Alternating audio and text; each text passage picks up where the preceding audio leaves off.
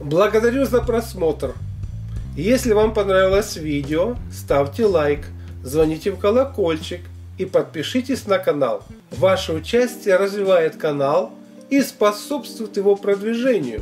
Доброго здоровья, уважаемые посетители канала. Вот по этой вот книжечке я уже начал исследовать, со своей стороны исследовать, как люди стали великими бизнесменами, что лежит в их вернее, что в них особенного?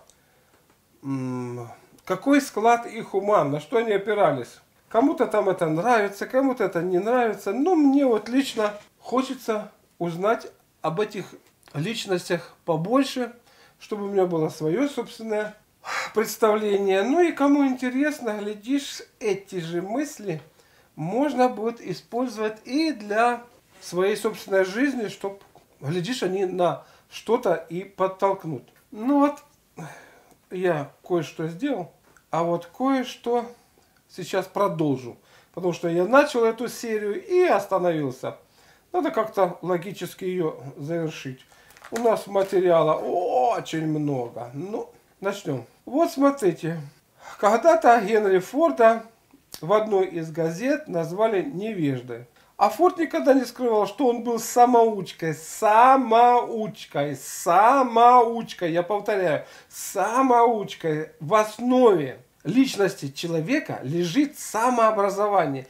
И если оно будет, значит этот человек будет личностью. Если его не будет, что бы он там ни закончил, толку от него никакого не будет. Вот. И даже гордился этим фактом, что он самоучка. И он подал на газету в суд. Во время, значит, заседаний адвокат начал задавать Форду вопросы из школьной программы, а Форд ни на один не ответил правильно. Но он не растерялся и заметил, цитирую, у сидящих в этом зале может быть по три или четыре диплома лучших университетов, но все вы ездите на автомобиле, который придумал я относительно себя могу сказать, ну столько людей, столько академиков, ну почему они не предложили вам систему естественного оздоровления, ту, которую я вам предложил?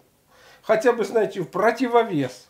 И вот как раз Олег Пощанский, председатель правления и управления партнер, значит, чего-то там такого в СНГ и России, пишет. В этом календаре собраны самые замечательные высказывания создателей и руководителей крупнейших компаний мира. Ну и каждому, кто работает в бизнесе, который сейчас у нас немножечко лежит на боку, отдыхает. Значит, будет полезно и увлекательно начинать свой новый день с новой цитаты. С новой цитаты, которую придумали эти люди. Кратенько, кратенько, значит, пробежимся. Вот, например, цитата Коко Шанель. если вы хотите иметь то, что никогда не имели, вам придется делать то, что никогда не делали. Задумались? Подумайте над этой цитатой хорошенько. Я ее так для себя расшифровал. То есть, прежде чем кем-то стать, надо делать то, что раньше вы не делали. Едем дальше. Так, пока пробегаем. Мэри Кей Эш. На груди у каждого из нас как будто висит невидимая табличка со словами «Дай мне почувствовать свою значимость». Никогда не забывайте об этом, когда работаете с людьми. Конечно, это очень интересное замечание Мэри. Дай мне почувствовать свою значимость, когда работаете с людьми. А вот я бы вам сказал бы, дай мне почувствовать свою значимость, не для людей, а в первую очередь для самого себя. Кто ты? Кто ты в этом мире? Зачем ты сюда пришел? Какова твоя значимость? То есть об этих вещах очень мало кто задумывается. А вы задумываетесь в первую очередь именно над этим. Томас Дж. Уотсон. Правильное решение должно оказаться не только изящным, но и простым. Ну что здесь сказать? В основе всего лежит, конечно, простота. Ничего надо, не надо придумывать. все, все очень просто и понятно. Есть жизнь, есть глаза, есть уши. Вот то, что вы видите перед вами. Просто ясно и понятно. А когда мы начинаем городить себе какие-то городушки, и потом в этом сами запутываемся, и начинаем какие-то искать решения. То есть не надо искать какие-то решения вообще там, где их не должно быть. Вот она, наглядная жизнь. Я вот так вот как-то к этому отношусь. Вот она, наглядная жизнь. Смотришь на нее и понимаешь, вот какая она. И я это лично понял довольно-таки, не хочу сказать, что рано, а давно. И для того, чтобы как-то преуспеть в этом, вот именно в жизни, именно в том, чтобы ты стал, стал тем, кем ты стал, надо просто и понятно для себя вычленить, что главное, что второстепенно, и действовать. Ну, примерно так. Возможно, это не так. Следующее у нас пол офрала. Удовлетворите ваших клиентов, и они верят вам в своей жизни. Знаете, вот тут мне приходит на ум Джуна. Вот кто такая Джуна?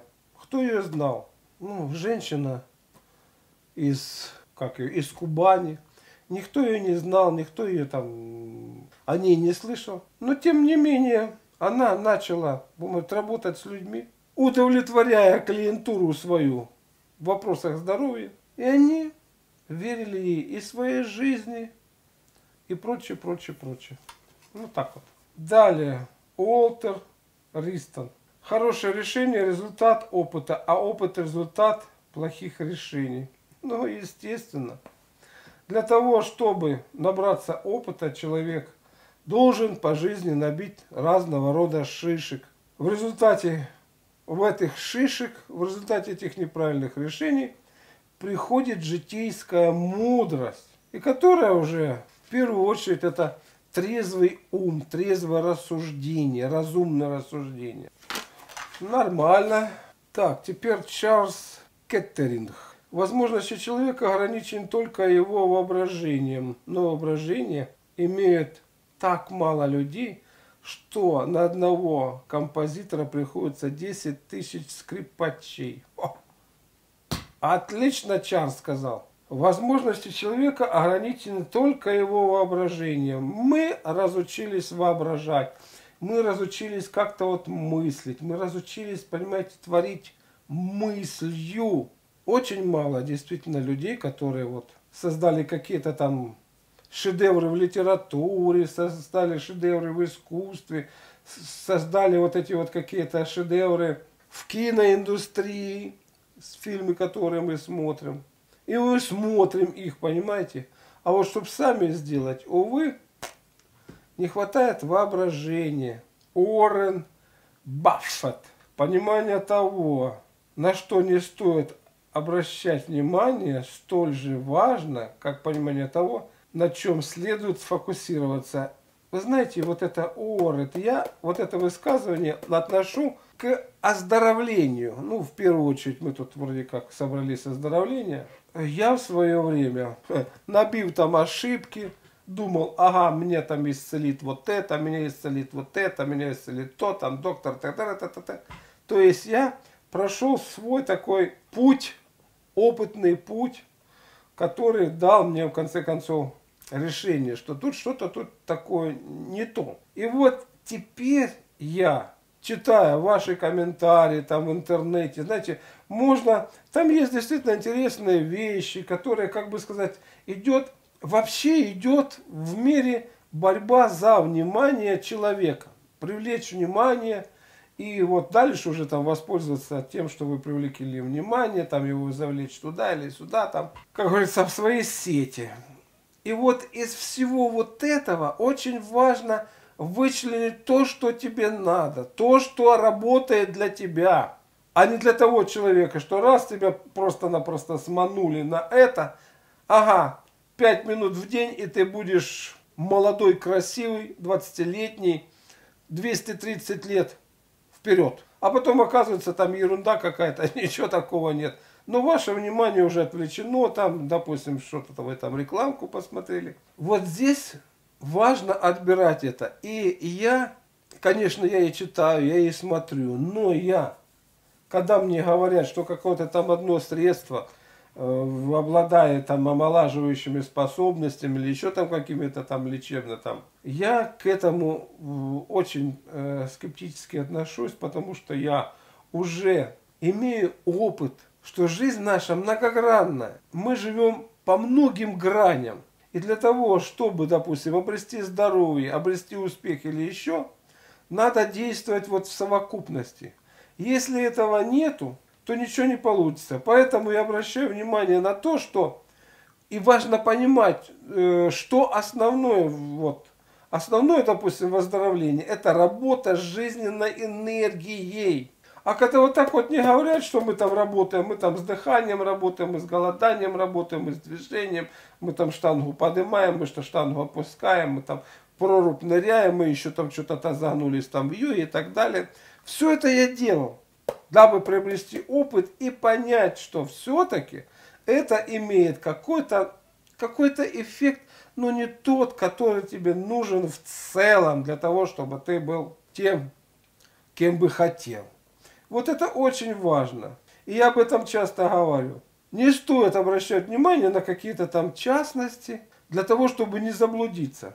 Ну и плюс по ведению канала, знаете, тоже э, я это учусь разного рода тут завистники, негодяи и люди, это все люди, которые стоят на собственной ступени своего там интеллектуального и духовного развития, вот что-то тут пытаются там уколоть, сказать. Это на меня не влияло, чтобы я понимал, что это-то такое и как она действует. Ну так. Благодарю за просмотр. Если вам понравилось видео, ставьте лайк, звоните в колокольчик и подпишитесь на канал. Ваше участие развивает канал и способствует его продвижению. Доброго здоровья и до новых встреч!